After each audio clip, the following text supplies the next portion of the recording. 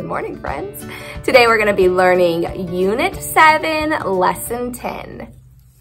It's green time, and for green warm-up, we are going to play a game, copy and do. I am gonna do something, and you guys are gonna copy me. I'm not gonna give any verbal, that means talking. I'm not gonna give you any verbal directions. You just are gonna watch with your eyes and then do. All right, one, two, three.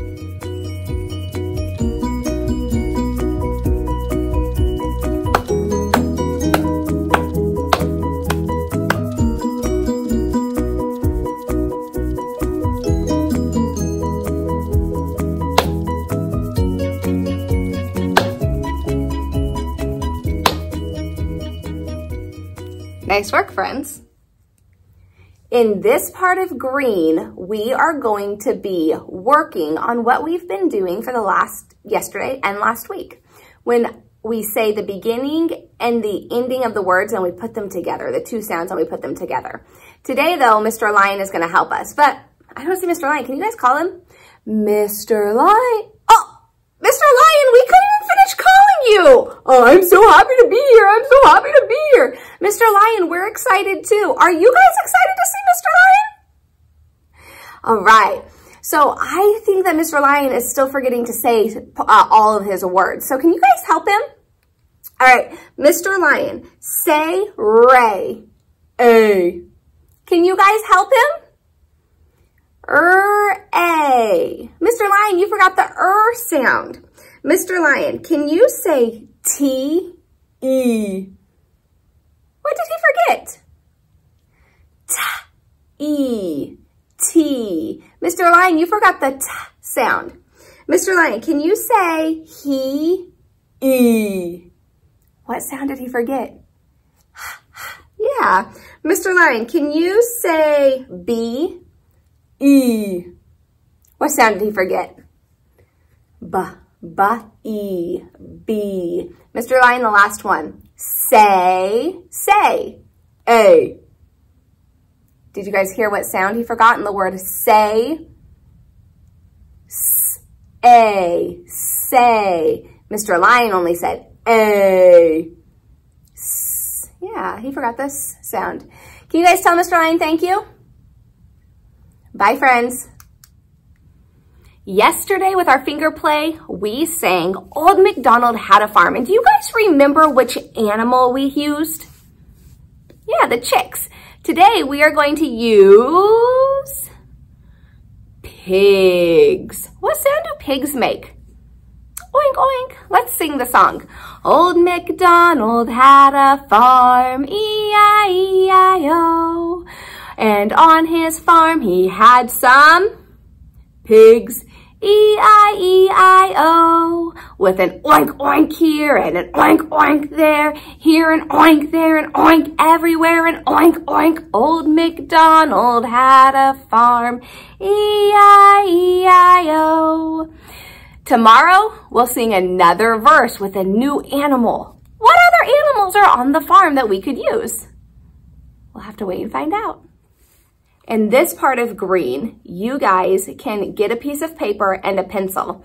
And on one side of the paper, you can write the letter J. And on the other side of the paper, write a letter X. If you need help, ask your parents. It's okay to ask for help. So pause the video and then come back after you have a piece of paper with these two letters on them. All right.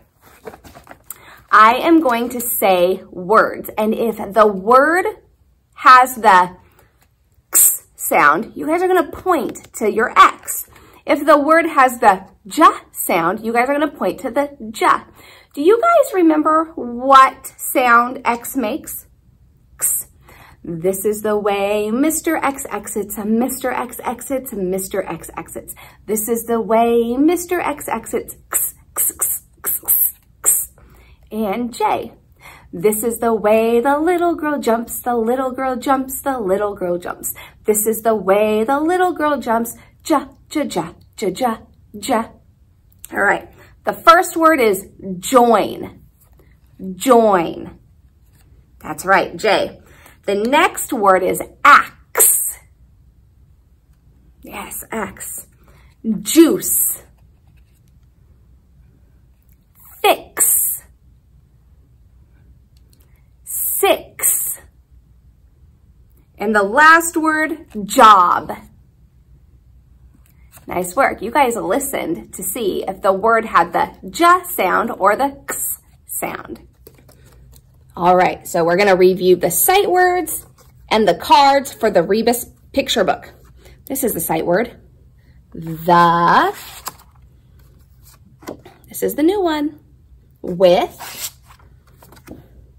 and, are, and our picture cards cows, farmer, and ducks. Can you read this sentence? The cows. What about this one?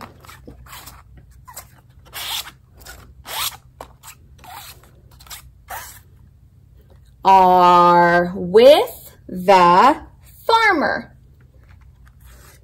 What if I switch this with this? Are with the ducks. Now, what does this say? The ducks. You guys read all of the sentences. Morning, friends. It's awesome to see you. Take a big breath in. Let it out. Let's twist around. Keep your legs still and twist the top half of you. Try to look at your back.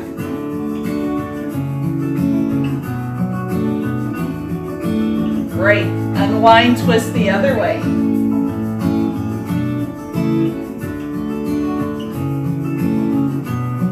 So let's stretch out our backs even more. Let's come on to hands and knees. I remember the other week we thought about stretching like a cat. You remember, bring your back way up. But then cow is the opposite. You can swoop your back under like a cow. Try it again. Cat and cow. Good. Now make your back flat and imagine your cow tail is swinging over one way and try to reach your head towards your tail. That's an awesome stretch. Swing your cow tail the other way and reach your head toward it. Fabulous. Tuck your toes and come to standing. Do you know what a baby cow is called? It's called a calf. Now this is kind of funny. Did you know that humans have calves on their body? Not a baby cow. A calf is a muscle that we all have. Here's our calf muscle, this nice muscle right here. Maybe you could touch your other calf. We can do things to strengthen our calves, like releve. Bring your hands to your hips and stand up nice and tall and rise up to the tips of your toes. Releve and down. Keep your legs nice and straight. Releve and down. Now we know that cows generally move kind of slow and humans can move slow. But we could also imagine that we're disco cows and we can move fast. So let's practice moving slow and fast. Okay? Get ready. Just move slow however you like in your space. Slow.